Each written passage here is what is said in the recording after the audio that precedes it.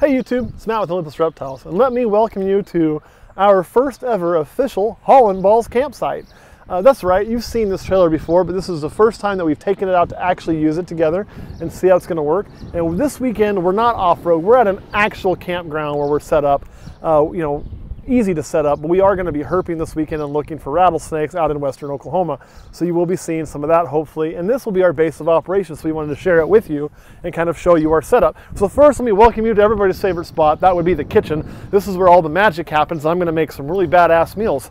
Let's be honest, I'll be lucky if I don't screw this up right here because I'm not a chef, but we're not going to die. So we got basic food, basic things we need right here. We got a grill, we got a stove, everything you really need to survive. Of course, we got some recovery gear that we shouldn't need because this is gonna stay right here as the base. Uh, if you come on inside here, we added this room since last time you saw it. This is a Smittybilt XL Annex. And if you come on into the annex, what you're gonna see is it gives us an area that I can stand up in that's covered so we're not in an actual campground. I'm not like, you know, stripping down naked to change clothes out in front of everybody with the highway and getting arrested or something. We can have a little privacy and that's really nice. You can see we've already been living in here. I got my shoes and boots lined up and things. Uh, and if you come up here, you will see that we are definitely already been sleeping up here. We spent last night when we got in about 1230. So we spent that first night here in the tent already. And as you can see that Kurt has already wimped out and added himself an air mattress. I'm still just using that, but uh, this foam pad, I will say, it's a little, you can see kind of not very thick. So another pad underneath would be nice. I'll be honest, I probably won't go air mattress because I just don't like the way they feel always. But if I could get another like memory foam pad about yay thick to lay underneath here for me, that'd be freaking amazing. So that gives us a nice comfortable spot. It was really easy to sleep in here, skylighting, good airflow. And even though it's starting to warm up today, it's not too bad in here. However, we can air condition this tent as well and likely probably will before the night is over. The other thing is by having this annex, what we can do is crawl up here, drop our shoes down on the floor, put them in the bag. We can try to keep up here as nice as possible because it's never going to really get clean. Where this, you can zip the floor off and just garden hose the floor out down the road. So kind of a really neat setup and I'm really glad we added this extra room. It just makes our footprint a little bit bigger and it gives us some more availability if we need. So if you come on around here, you'll find our tow vehicle and the Jeep did a great job of towing it. We're using a 2009. This is my daily driver. It's a uh, Wrangler Rubicon. So it's got the 3.8 liter engine, which is not the best engine Jeep's ever made. However, no problems whatsoever getting it here. I would feel it going up a hill, but honestly, that Jeep doesn't like going up hills by itself. So that's not a big surprise. And the camper itself is all pretty light. So all in all, we are very happy with our setup. I really, really dig it. So let's go ahead and take you inside and we'll let Kurt show you the inside of the camper.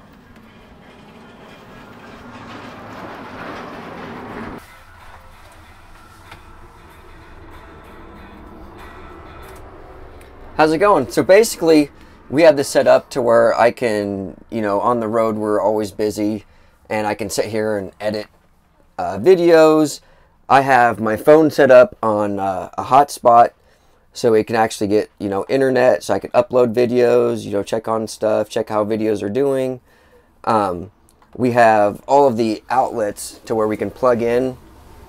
Um, this this setup has a generator, so if we're out somewhere where we don't like here we have it to where we can plug in and just uh, plug in a power cord. If we're out, you know, in the middle of nowhere, we can plug in the generator, turn that on. It's a pretty quiet whisper generator. We can have a cord, we can run it a little ways away so it's not so noisy right here. And then as long as I have my cell phone that has a signal, that I can run a hotspot and I can upload videos, we can do a lot of editing, different things. This has lighting so I can work in here at night. We can also, you know, turn the lighting down, up if we want. If it gets really hot, we can turn the AC on. Uh, this has a vent, so we can actually vent AC up into the top roof. If we want to, um, if it gets too hot up there, these windows, they'll kind of uh, push in like this, so you can vent, you know, have some air, fresh air coming in and out. But having this sit up has made it really nice when we're on the road. We can still, you know, have everything to where we can edit, we can still put videos together and then we can still be out and doing a lot of um, herping and a lot of videos. So this has been a really, really nice addition uh, to what we can do. And we're going to be able to do a lot more videoing and a lot more um, uh, videos. Uh, so let's head back up to Matt.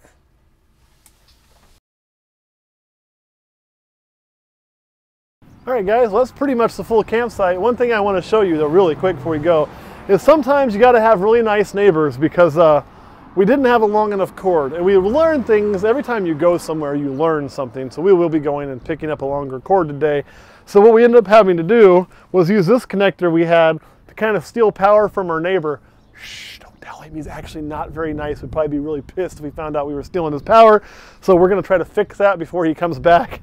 And uh, actually, it's Eric who's running the camera. He doesn't give a shit. But we will want to get a bigger cord so we can obviously be prepared to run our own stuff. Uh, we could use a generator, but again, it, even though it's quiet, it makes a little noise and costs us gas. And well, this was free.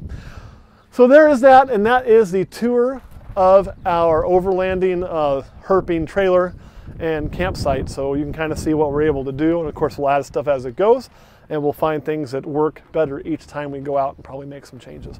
All right, Eric, since you're playing Kurt's role, do you have any questions? Nope. All right, guys, thanks for watching. We'll see you next week.